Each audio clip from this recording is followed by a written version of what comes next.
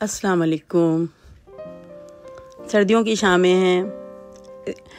तो आज हम बना रहे हैं सर्दियों की नस्बत से चिकन वेजिटेबल सूप। इसके लिए मैंने डेढ़ पाव चिकन लिया है और चिकन में एक दो बोटी हड्डी वाली भी ज़रूर डालिए ताकि हड्डी का जायका भी बड़ा मज़ेदार आता है।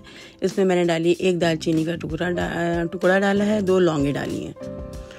दालचीनी की अपनी अफादियत है खांसी को रफ़ा करती है और पेट की चर्बी को भी कम करती है। बहुत सारे फ़वाद हैं इसके। और इसमें मैंने डाली है एक गाजर लंबे लंबे स्लाइस से काट के, सिर्फ़ जायके के लिए। इसमें एक से डेढ़ लीटर पानी जाएगा।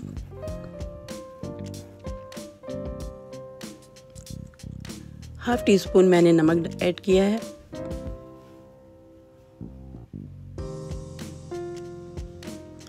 दो हरी मिर्च ऐड करूँगी सिर्फ़ जायके के लिए। हरी मिर्च का फ्लेवर बड़ा मज़ेदार होता है। ये देखिए, तकरीबन 20 से 25 मिनट मैंने इसको पकाया है और ये मेरी यखनी ये तैयार हो चुकी है। और ये जो गाजर और मिर्च में हमने डाली थी, इनको हम अलग कर लेंगे। और चिकन को अलग करके उसके रेशे बना लेंगे।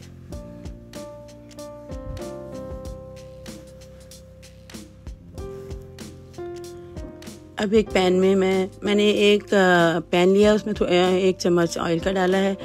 एक गाजर मैंने कद्दूकश करके, क्रश करके रखी थी, उसको पैन में डालेंगे ताकि उसका पानी खुश कर लें। एक शिमला मिर्च, एक अदद छोटे छोटे स्लाइसिस में काट के रख लिए। अब जब तक गाजर का पानी खुश्क होता है, ये देखिए, गाजर जब ये देखिए, ये पानी इसका खुश्क हो चुका है।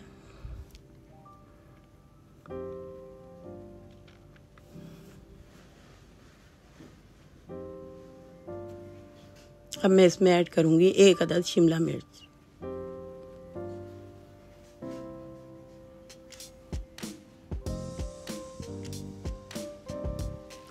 अब इसको अच्छे से मिक्स कर लेंगे। शिमला मिर्च तो भाप से भी नरम हो जाती है।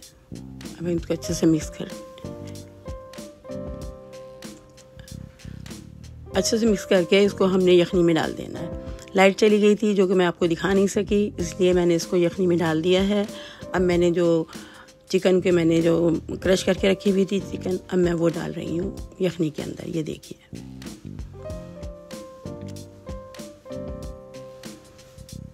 चिकन के बारीक बारीक रेशे से बना लिए थे इसको तीन से चार मिनट तक पकने देंगे।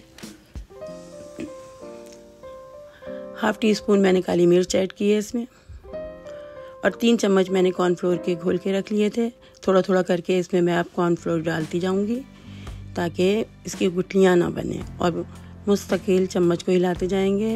ये देखिए मिक्स करते जाएँगे ताकि हमारा सूप बड़ा अच्छे से तैयार हो जाए। ये देखिए, बड़ा अच्छा सा और गाढ़ापन इसमें आ जाए।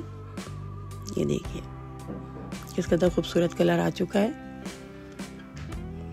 मैंने एक अंडा फेंट के डाला है। अंडे को भी थोड़ा थोड़ा करके डालेंगे और जल्दी जल्दी मिक्स करते जाएँगे ताकि जो है इसका भी रेशे बन जाए और बड़ा अच्छा सा जायका बन जाए। अब इसमें एक चम्मच सोया सॉस का डाला है।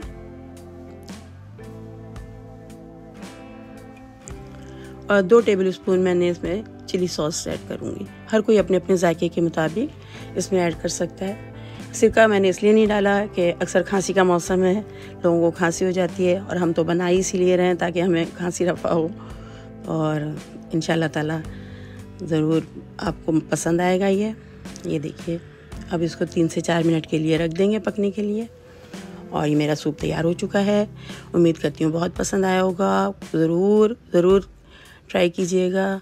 दुआओं में याद रखिएगा अपना बहुत ख्याल रखिएगा। अल्लाह हाफिज़।